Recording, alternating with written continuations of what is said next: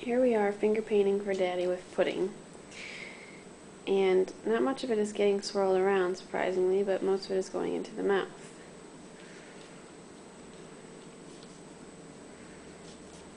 So, this is our project for the day. That's good, Lewis. Alright, I gotta help, sorry.